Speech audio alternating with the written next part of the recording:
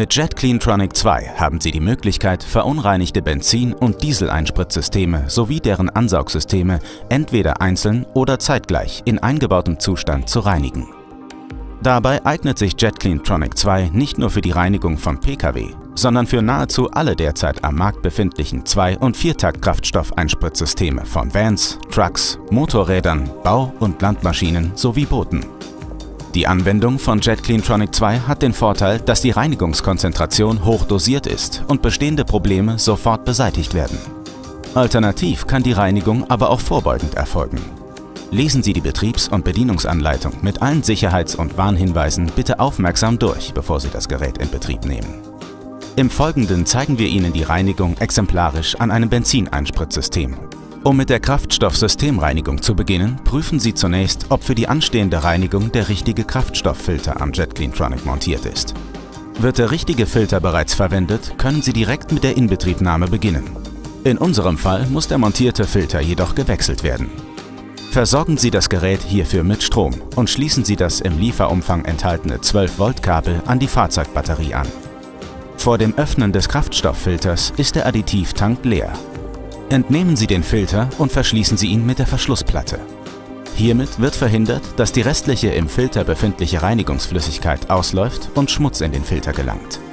Nach dem Öffnen des Kraftstofffilters laufen 150 bis 200 ml Reinigungsflüssigkeit in den Additivtank zurück. Der Additivtank muss vor der weiteren Benutzung über den Entleerhahn an der Geräterückseite entleert werden. Schalten Sie den Hauptschalter für etwa 4 Sekunden ein.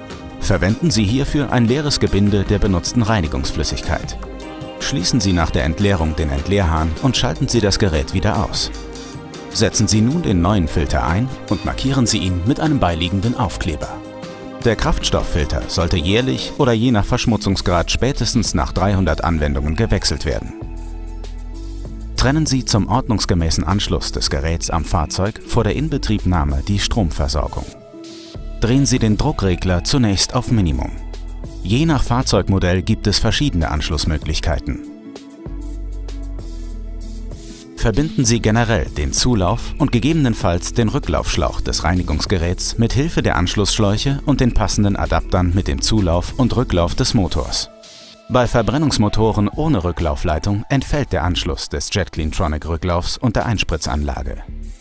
Verbinden Sie in diesem Fall die Zulaufleitung vom Kraftstofftank kommend über den entsprechenden Adapter und einen geeigneten Kraftstoffschlauch und führen Sie diesen in den Einfüllstutzen des Kraftstofftanks ein. Weitere Anschlussmöglichkeiten können Sie der Bedienungsanleitung entnehmen. Bei direkt einspritzenden Dieselsystemen wie zum Beispiel Common Rail müssen Sie den Zulaufschlauch vor der Hochdruckpumpe anschließen. Stellen Sie nun eine Ringleitung her, indem Sie die beiden Leitungen vom Kraftstofftank kommend bzw. zurückfließend mit entsprechenden Adaptern verbinden. Achten Sie darauf, dass der von den Einspritzdüsen bzw. Injektoren kommende Rücklauf mit in den Kreislauf eingeschlossen wird, damit der Proline JetClean Diesel Systemreiniger nicht in den Kraftstofftank des zu reinigenden Verbrennungsmotors entweichen kann.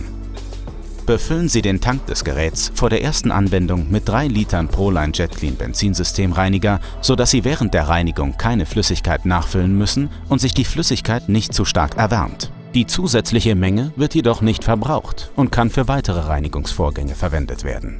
Bei späteren Reinigungen mit der gleichen Flüssigkeit empfehlen wir für einen Durchgang zur vorbeugenden Anwendung 500 ml bzw. bei problembezogener Anwendung 1 Liter Reinigungsflüssigkeit zu verwenden. Da der Dampfdruck von Reinigungsflüssigkeiten bei zu hohen Temperaturen sehr stark ansteigt, wird die Reinigungsflüssigkeit gekühlt. Durch den integrierten Lüfter bietet unser Gerät besonders hohe Sicherheit. Der Warnton in Verbindung mit der roten Kontrollleuchte weist darauf hin, dass die Temperatur der Reinigungsflüssigkeit auf über 50 Grad Celsius angestiegen ist. Stellen Sie den Motor umgehend ab, um Reinigungsflüssigkeit nachzufüllen. Der Warnton in Verbindung mit der blauen Kontrollleuchte zeigt, dass der Reinigungsmitteltank nahezu leer ist. Der Motor kann somit abgestellt werden, bevor die Einspritzanlage Luft ansaugt und eine aufwendige Entlüftung notwendig wird. Wenn alle Leitungen verbunden sind, stellen Sie die Stromverbindung her. Schalten Sie anschließend das Gerät ein. Wählen Sie nun am Druckregler den Systemdruck des jeweiligen Einspritzsystems. Typische Kraftstoffsystemdrücke können Sie der Bedienungs- und der Kurzanleitung entnehmen. Starten Sie nach der Einstellung des Kraftstoffsystemdrucks den Motor. Überprüfen Sie im Anschluss, ob alle Verbindungen dicht sind.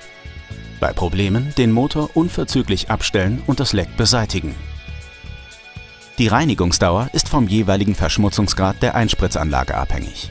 Die Reinigung sollte beendet werden, wenn die entsprechende Menge der Reinigungsflüssigkeit verbraucht ist. Wenn der Reinigungsvorgang vorbei ist oder unterbrochen werden soll, muss der Verbrennungsmotor abgestellt und das Jet Cleantronic ausgeschaltet werden. In Abhängigkeit des Kraftstoffsystems fällt bei einigen Fahrzeugmodellen der Systemdruck am Manometer von selbst ab. Sollte dieser nicht von selbst auf 0 bar absinken, drehen Sie den Druckregler vor dem Abkuppeln der Leitungen manuell bis zum Anschlag nach rechts, damit die Leitungen druckfrei sind.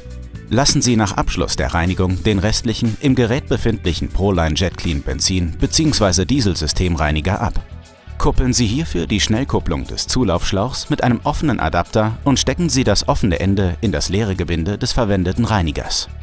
Schalten Sie das Gerät für ca. 10 Sekunden ein, bis der Tank leer ist und die Pumpe beginnt Luft anzusaugen. Kuppeln Sie den Zu- und gegebenenfalls Rücklaufschlauch an der Gerätefront ab und lassen Sie die Restflüssigkeit auslaufen. Abschließend wird der Tank über den Hahn an der Geräterückseite entleert. Der abgelassene Reiniger kann bei der nächsten Reinigung wiederverwendet werden. Zum Schutz des Jet Cleantronic müssen die Tanks bei einer Stillstandzeit von mehr als einer Woche in Abhängigkeit vom verbauten Kraftstofffilter mit Benzin bzw. Diesel durchgespült werden. Stellen Sie nach Abschluss der Reinigung die ursprünglichen Leitungsverbindungen wieder her und prüfen Sie diese auf Dichtigkeit. Abschließend empfehlen wir, eine Probefahrt und eine Motordiagnose durchzuführen und gegebenenfalls vorhandene Fehler zurückzusetzen. Zusätzlich zur Kraftstoffsystemreinigung bietet Ihnen Jet Cleantronic die Möglichkeit, das Ansaugsystem schnell und effizient zu reinigen. Je nach Motortyp steht für nicht aufgeladene Motoren ein Adapter bzw. für aufgeladene Motoren spezielles Equipment, bestehend aus Gummikonus, Nadel, Lüadapter, Schlauch und Kupplung zur Verfügung. Bei nicht aufgeladenen Motoren empfehlen wir die Montage des im Lieferumfang enthaltenen Adapters möglichst nahe an der Drosselklappe. Bei aufgeladenen Motoren empfehlen wir hingegen die Montage des im Lieferumfang enthaltenen Gummikonus. Der Anschluss erfolgt über den Ausbau des Drucksensors am Ansaugrohr. Verwenden Sie hierfür je nach Durchmesser der Drucksensoröffnung den passenden Gummikonus. Verbinden Sie dabei den Spiralschlauch mit der Schlauchkupplung des Adapters.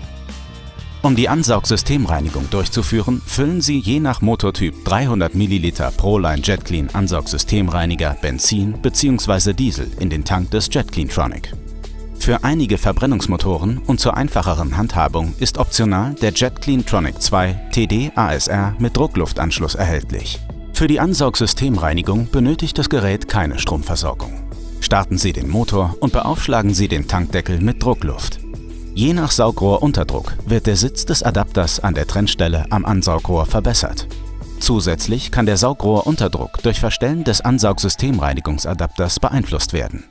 Durch Öffnen des Kugelhahns wird in Abhängigkeit vom Saugrohrunterdruck die Reinigungsflüssigkeit angesaugt. Durch Drehen der Drossel am Spiralschlauch bestimmen Sie die Durchflussmenge des Reinigers. Wir empfehlen eine Dosiermenge von einer Umdrehung im Spiralschlauch in 1 bis 2 Sekunden. Sollte sich keine Luft im Spiralschlauch befinden und die Dosiermenge nicht sichtbar sein, empfehlen wir Ihnen, den Spiralschlauch an der Drossel kurz zu trennen und wieder zu montieren. Prüfen Sie dann, ob die Anschlüsse dicht sind und keine Reinigungsflüssigkeit austritt. Die Reinigung sollte bei einer konstanten Drehzahl von ca. 2000 Umdrehungen pro Minute durchgeführt werden. Hierfür können Sie optional einen Gaspedalfeststeller verwenden. Den Reinigungsvorgang können Sie jederzeit durch Schließen des Kugelhahns am Spiralschlauch unterbrechen oder beenden. Steigt die Motordrehzahl während der Ansaugsystemreinigung von selbst stark an und dabei über 3500 Umdrehungen pro Minute, schließen Sie den Kugelhahn am Spiralschlauch sofort und stellen Sie den Motor ab. Der Reinigungsvorgang ist abgeschlossen, sobald die eingefüllte Flüssigkeit aufgebraucht ist. Entfernen Sie gegebenenfalls den Gaspedalfeststeller und stellen Sie den Motor ab. Nehmen Sie dann den Druckluftschlauch und den TD-ASR vom Gerät. Stellen Sie anschließend die ursprünglichen Leitungsverbindungen wieder her. Sofern sich noch ein Rest des Proline JetClean Ansaugsystemreiniger Benzin bzw. Diesel im Tank des JetClean Tronic befindet, entleeren Sie diesen. Der abgelassene Proline JetClean Ansaugsystemreiniger, Benzin bzw. Diesel kann bei der nächsten Ansaugsystemreinigung wiederverwendet werden.